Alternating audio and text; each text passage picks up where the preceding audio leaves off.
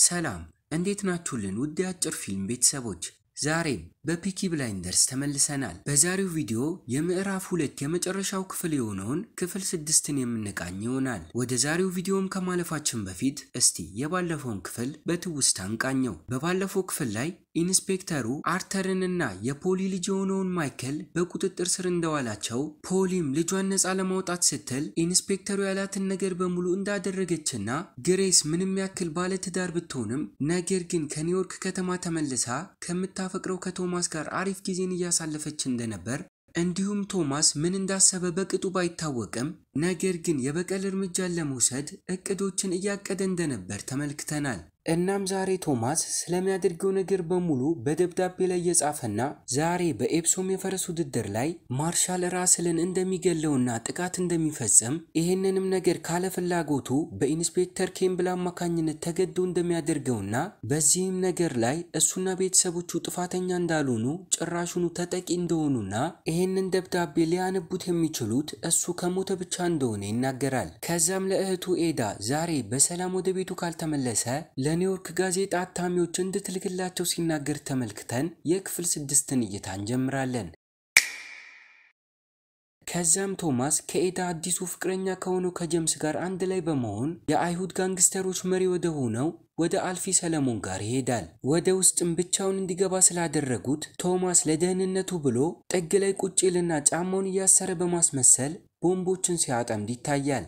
አስቀድሞም ሰለሞን ወንድሙ አርተርን እንደሚያስፈታለት ነግሮት ስለነበር ለቶማስ ተደውሎለት ወንድሙ ከእስር እንደተፈታ ይነገረዋል። ቶማስም ለሰለሞን ያመጣለትን document ሲሰጠው ሰለሞን ሽጉጥ ደቅኖበት እያስፈራራው መቶ percent የምትሰራውን ስራ ወደ እኔ አስተላልፍልኝ ይለዋል። ቶማስ ግን አስቀድሞም ተጠራጥሮ ስለነበር ወደዚህ ከመምጣቱ በፊት ቤት ውስጥ ቦምብ አጥምዶ እንደነበርና ከፈለገ በሰከንድ ውስጥ ድምጥማጡ እንደሚያጠፋው በመናገር ሰለሞንን አስፈራርቶት በሕይወት ከዛ ቦታ ሲወጣ እናያለን። በተመሳሳይ ሰዓት ላይ ኢንስፔክተሩ ደግሞ ከሶስት ነፍሰ ገዳይ ወንበዴዎች ጋር በድብቅ ከተገናኘ በኋላ ቶማስ ሼልቢን እንዲገሉት ትዕዛዝ ሲሰጣቸው ይታያል። ከደቂቃዎችም በኋላ ከእስር ቤት የተፈታው ታላቅ ወንድማቸው አርተር ሳይቀር ተገኝቶ ቶማስ ጥቂት የፒኪ ብሌንደር ጋንግስተሮችን ሰብስቧቸው የጣሊያን ጋንግስተሮች መሪ የሆነውን ሴቢኒ ከነ ቤተሰቦቹ ዛሬ እንዴት እንደሚያጠፋቸው እቅድ ሲያወጣና በዝግጅቱ ቦታ ላይ ለአባላቶቹ ምን ማድረግ እንዳለባቸው ሲነግራቸው ይታያል። ዝግጅቱ ቦታ ላይም የሚፈጠረው ነገር ስለማይታወቅ አስቀድሞ አዲሷ ፍቅረኛው ወደ ሆነችው ሜካርተን ጋር ሲሄድና ምንም ነገር ቢፈጠር ማዘን እንደሌለባት ነግሯት ወደ ዝግጅቱ ቦታ ይሄዳል። እቅዱንም ከመፈጸሙ በፊት ከየት መጣች ሳይባል ግሬስ ወደ እሱ ጋር ትመጣና እርጉዝ እንደሆነችና የእሱን ልጅ በውዷ መያዟን ትነግረዋለች።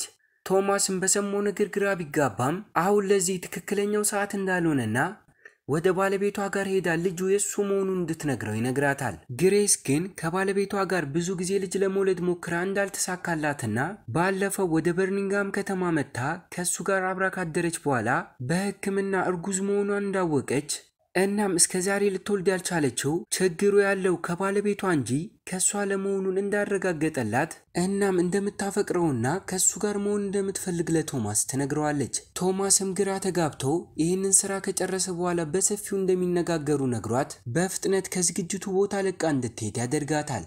ከዚያም በእቅዱ መሰረት ሊዝ የተባለችዋን ጸሐፊውን ያስመጣትና ራስል የተባለውን የፖሊሶች አለቃ በውበቷ አማላና አታላ ወደ ባዶ ክፍል እንዲገባ ታደርገዋለች። ቶማስም አጋጣሚውን ተጠቅሞ የገለውና ወደ ሌሎች ፖሊሶች ጋር በመሄድ ኮማንደሩ እንደተተኮሰበት እየተናገረ ግርግርን መፍጠር ይጀምራል።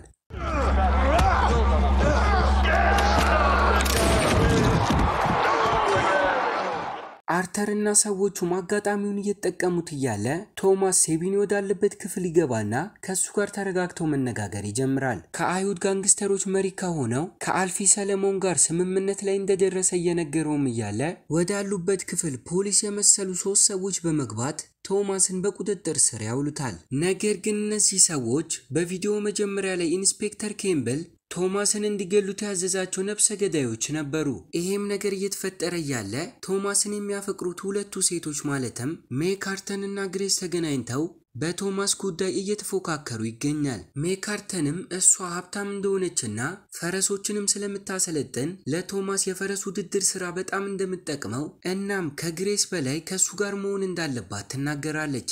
ግሬስ ግን ከሜካርተን በላይ ቶማስን ስለምታፈቅረው ምንም ያክል ተራ ሴት ብትሆን እንኳን ቶማስ ከማንም በላይ እሷን እንደሚመርጣት ትናገራለች። በምዕራፍ ሁለት ክፍል ስድስት የመጨረሻዎቹ ትዕይንቶች ላይ ኢንስፔክተር ኬምብል ከአለቃው ጋር በስልክ እየተነጋገረ እያለ አንድ ፖሊ ሳያስብ ወደ እሱ ጋር ትመጣና ልጇ ላይና በአጠቃላይ ቤተሰቦቿ ላይ ላደረገው ነገር በያዘችው ሽጉጥ ገላ ስትበቀለው እናያለን።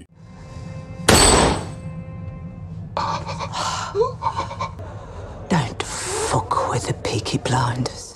አርተር እና የቀሩት የፒኪ ብሌንደር ጋንግስተሮች ደግሞ ራስል ስለተገደለ የፖሊሶቹን ግራ መጋባት አጋጣሚ ተጠቅመው የሴቢኒን ሰዎች ሲደበድቡና የሴቢኒን ከመንግስት የተሰጠውን ህጋዊ የሰነድ ፍቃድ አቃጥለው በአንድ ጊዜ ለንደን ውስጥ ያለውን ስምና ዝና ሲያፈርሱበት ይታያል። ነገር ግን እቅዳቸውን ሙሉ በሙሉ ቢያሳኩም ቶማስን ግን በዝግጅቱ ቦታ ላይ ሊያገኙ ስላልቻሉ በተፈጠረው ነገር ግራ እየተጋቡ ይገኛል። ስለ ቶማስ ካወራን አይቀር ሶስቱ ነፍሰ ገዳይ ወንበዴዎች ጭር ወዳለ ቦታ ከወሰዱት በኋላ አስቀድመው ለሱ ብለው በቆፈሩት የመቃብር ጉድጓድ ውስጥ ከተውት በያዙ ሽጉጥ ተኩሰው ሊገሉት ሲሉ ቶማስ ሊሞት እንደሆነ እርግጠኛ ስለሆነ ለመጨረሻ ጊዜ ሲጋራ እንዲያጨስ ጠይቋቸው ሲያጨስና እኛም ከአሁን አሁን ገደሉት ብለን ስንጠብቅ ከሶስቱ ወንበዴዎች መካከል አንደኛው በተቃራኒው አብሮት ያሉትን ሁለቱን ግብረ ገሏቸው ለቶማስ ሚኒስቴሩ ቸርችል ለአንተ የሚሆን አዲስ ስራ ስላለው ሊያናግርክ ይፈልጋል ብሎት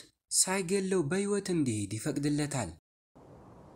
Nearly got fucking everything! And the Black Midwinter. ቶማስም እንደሚገሉት እርግጠኛ ሆኖ ስለነበር የደስታ እንባን እያነባ ወደ ቤቱ ተመልሶ ሲሄድ እናያለን። በመጨረሻም የፒኪ ብሌንደር ጋንግስተሮች መጠጥ እየጠጡና ፓርቲ አዘጋጅተው ዘና እያሉ ሴቢኒ ከጨዋታው መወገዱን አስመልክቶ ሲያከብሩና የፖሊ ልጅ የሆነው ማይክል ወደ ቶማስ ጋር በመምጣት ከአሁን በኋላ ከነሱ ጋር አንድ ላይ ስራ በመስራት የራሱ የሆነን ገንዘብ ማከማቸት እንደሚፈልግ ሲነግረው ቶማስም አብሯቸው እንዲሰራ ፍቃድ ሲሰጠውና እሱም ቢሆን ሚስት ለማግባት እያቀደ እንደሆነ ሲናገር ተመልክተን የዚህ ምዕራፍ የመጨረሻ ክፍል የሆነውን የክፍል ስድስትን እይታ እናበቃለን። ቤተሰቦች ቶማስ ከበርሚንግሃም ከተማ ተነስቶ በምዕራፍ አንድ ቆይታችን ቢል ኪምበርንና ሰዎቹን ድምጥማጣቸውን እንዳጠፋ እንዲሁም በምዕራፍ ሁለት ቆይታችን ደግሞ ሴቢኒን ከጨዋታው በማስወጣት ለንደንን መቆጣጠር እንደቻለ ተመልክተን ነበር። እናም ፒኪ ብላይንደርሶች በቀጣዩ ምዕራፍ የትኛውን ግዛት ይቆጣጠሩ ይሆን? እንዲሁም ቶማስ ሜካርተንን ወይንስ ግሬስን ማንን ያገባ ይሆን የሚለውን ነገር በቀጣይ የምንመለከት ይሆናል። ለዛሬ በዚህ መልኩ ያቀረብኩላችሁ እኔ በረከት ከአጭር ፊልም ነበርኩ። ለቻናሉ አዲስ ከሆናችሁ subscribe በማድረግና በምዕራፍ ሁለት ቆይታችን ያላችሁን ሀሳብና አስተያየት በ comment section ላይ ያስቀመጣችሁልን፣ በቀጣይ በምዕራፍ ሶስት እስከምንገናኝ ድረስ ቸር ያቆየን።